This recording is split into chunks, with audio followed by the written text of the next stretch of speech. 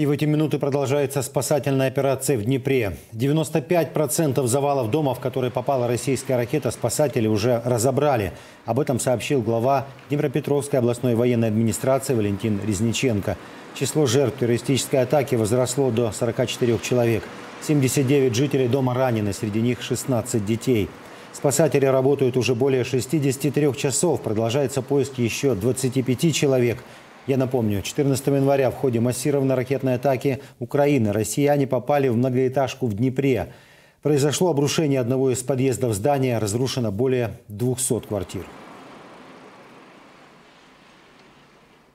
И всю последнюю информацию узнаем у нашей следующей гости. Наталья Бабаченко, советник главы Днепропетровской областной военной администрации, присоединяется к нашему эфиру. Здравствуйте. Здравствуйте.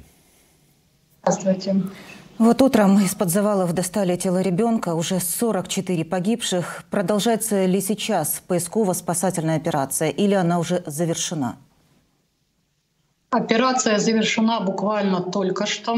Э, на сейчас э, все понимают, что есть 44 погибших. Не все погибшие еще опознаны, поэтому нужно будет еще какое-то время для того, чтобы идентифицировать всех этих людей. Кроме того, что спасатели достали э, тела, они также достали из-под этих обломков еще и четыре фрагмента тел, поэтому нужно будет немножко больше времени для того, чтобы их идентифицировать. Такая ситуация на сейчас. То есть спасатели всю свою работу на месте закончили. Они всех, кого могли, спасли. Это было 39 человек, и 44 человека, к сожалению, погибли. Их убила русская ракета. А сколько людей э, на сегодняшний день считаются пропавшими без вести? Есть люди неопознанные.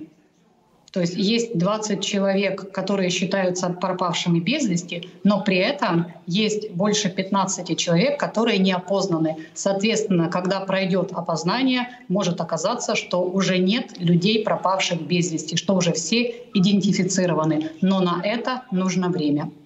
А вот э, что говорят сами спасатели, да, насколько сложная была вот эта операция, с чем им пришлось столкнуться? Страшные ну, же были сложное, разрушения, конечно, просто страшные видео, страшные фото. Самое страшное, конечно же, доставать из-под этих э, облам... Э, уламков маленьких детей и вообще людей, да, которые просто жили мирной жизнью в своем доме, никого не трогали, жили в своей стране, и к которым вот так вот средь бела дня прилетела такая разрушительная ракета, которая полностью уничтожила один подъезд, очень сильно повредила еще один, и рядом несколько подъездов тоже теперь, скорее всего, непригодны для того, чтобы там проживать. Но это опять-таки экспертиза немножко позже. Ну и плюс, да, вот эти э, висящие балки, э, несущие стены, там предельно аккуратно нужно было работать. Да, несколько раз была угроза обрушения здания, э, поэтому тогда дело в том, что сразу, когда произошла эта атака, очень много э, жителей города приехали для того, чтобы помогать спасателям. И вот когда уже была, и они помогали несколько дней, и вот когда уже была угроза обрушения, то, конечно, спасатели попросили всех обычных людей отойти и сами очень ювелирно работали там для того, чтобы сохранить жизни тех, кто мог еще остаться под завалами. То есть, э, скажем прямо, что наши спасатели провернули такую титаническую работу, они реально боги, они сделали все, что могли для того, чтобы спасти как можно больше людей. Да, и спасибо, конечно, им за это огромное.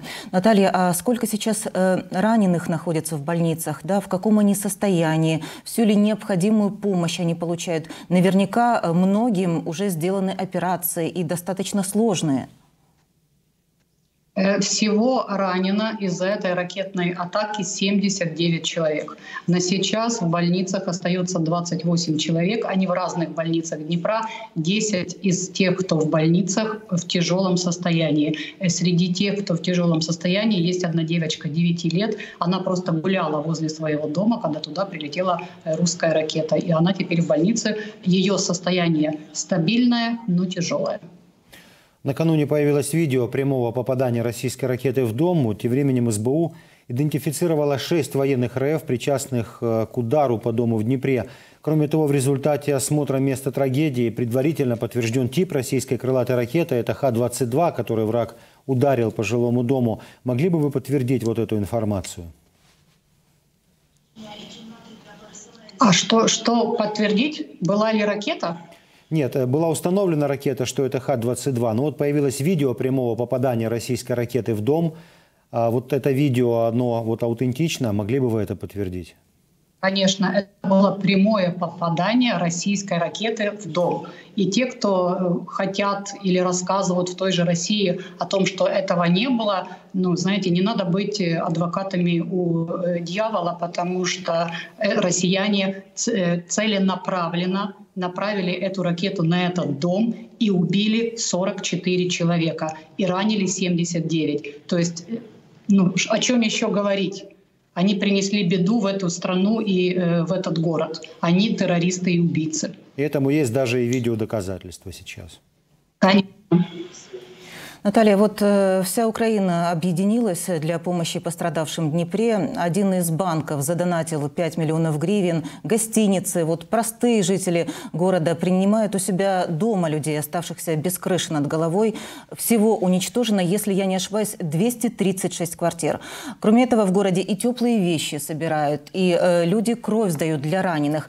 Э, какая помощь еще поступает, можете рассказать? И какая может быть нужна Помощи поступает очень много. Э, жители Днепра вот в первый же день и разбирали завалы, приехали на место, и привозили теплые э, вещи, и брали людей, совершенно незнакомых им до этого, да, к себе домой. Так получилось, что отселение э, было нужно около там, 400 э, человек, и практически всех их разобрали или родственники, или просто местные жители. То есть поехали в специально оборудованные места, там буквально до трех десятков людей. Всех остальных разобрали наши жители. Сейчас там вот на месте месте прилета работают волонтеры. Они раздают пострадавшим и теплые вещи, и лекарства, кому, кому нужно, и еду. То есть э, помощи очень много, и это очень классно, да, что мы так можем помогать друг другу, что город просто стал стеной для того, чтобы помочь вот этим людям, которые так серьезно пострадали от российской ракеты. И в больницах тоже все есть, и кровь есть, и люди приходят кровь сдавать еще, есть все лекарства, врачи делают все для того, чтобы помочь помочь тем людям, которые на сейчас в тяжелом состоянии. Стражи порядка продолжают принимать заявления от пострадавших от ракетного удара. Какое количество людей уже обратилось к полиции? Э, там было несколько сотен обращений. В основном люди писали документы о том, что у них повреждено или вообще уничтожено жилье. На сейчас уничтожено 72 квартиры полностью, э, больше 200 э, пострадали. Но еще будут экспертизы, потому что не исключено, что эта цифра возрастет после того, как эксперты скажут, можно ли жить в этих квартирах или они уже непригодны для жилья. И вот э, от ракетного удара пострадали и общежития, в которых жили переселенцы из Донецкой и Луганской областей. Э, была информация, что там сейчас нет коммуникаций. Э, что будет вот с этими людьми? Будут их куда-то переселять или все-таки там можно сделать какой-то ремонт?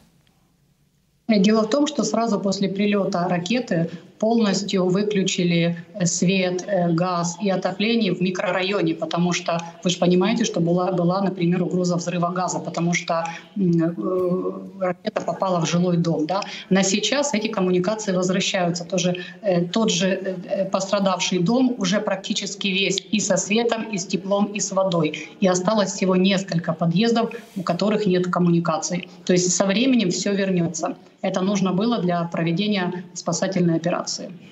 Ну да, в Днепре накануне были проблемы во всем Днепре с электроэнергией, водой. Э, это связано с ракетным ударом. И можете рассказать, какая на сегодня ситуация в городе?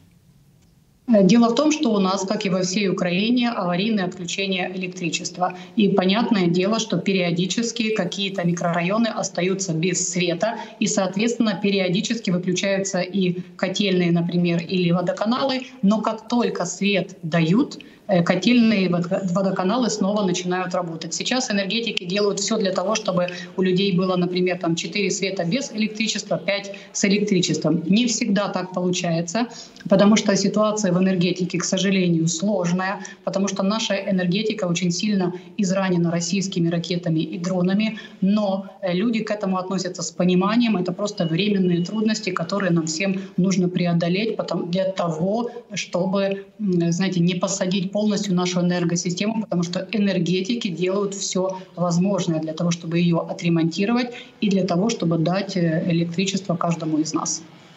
Наталья, э, нашу беседу мы начали с того, что вы сообщили, что поисково-спасательная операция завершена.